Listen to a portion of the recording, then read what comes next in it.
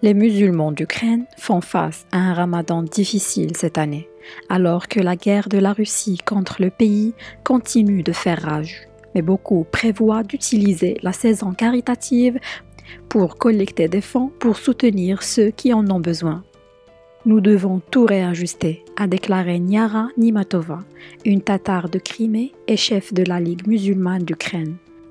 Le premier jour du mois de jeûne, elle avait prévu de préparer un repas du soir iftar avec un groupe de familles déplacées qui séjournent avec elle au centre islamique de Tchernivtsi. Beaucoup de musulmans sont partis à l'étranger et ceux qui sont encore en Ukraine ont besoin de soutien, a déclaré Nimatova.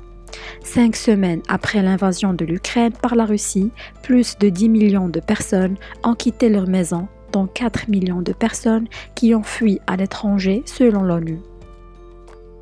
Les musulmans d'Ukraine représentent 1% de la population de l'Ukraine, un pays principalement chrétien orthodoxe. Avant la guerre, l'Ukraine abritait plus de 20 000 ressortissants turcs, notamment les Tatars de Crimée.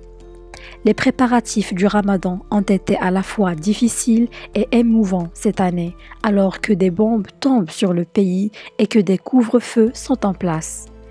Restreignons les déplacements le soir lorsque les familles se rassemblent pour rompre le jeûne. Déplacés par la guerre, beaucoup sont également loin de chez eux et de leurs amis. Nous devons être prêts à faire de notre mieux pour obtenir le pardon de Dieu, prier pour nos familles, nos âmes, notre pays, l'Ukraine, a déclaré Nimatova, dont le mari Mohamed Mamoutov est un imam.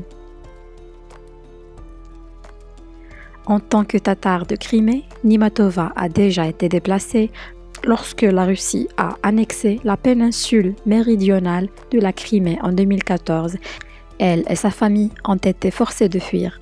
Lorsque nous vivions en Crimée, nous n'avions jamais pensé que nous devions partir. Mon peuple a été expulsé auparavant par Staline et mes grands-parents et mes parents ont toujours rêvé de rentrer, a-t-elle déclaré. Quand j'avais deux ans, en 1988, nous sommes revenus. Mais ensuite, la Russie a occupé la Crimée en 2014, alors nous sommes partis. Maintenant, j'ai de nouveau fui ma maison. En 1944, plus de 191 000 Tatars de Crimée, musulmans d'Ukraine, ont été déportés sur ordre de Staline, principalement vers l'Ouzbékistan d'aujourd'hui. Nimatova a déclaré aussi qu'elle avait dû modifier ses nombreux plans pour le ramadan de cette année, y compris les cours de religion et les efforts pour nourrir les sans-abri.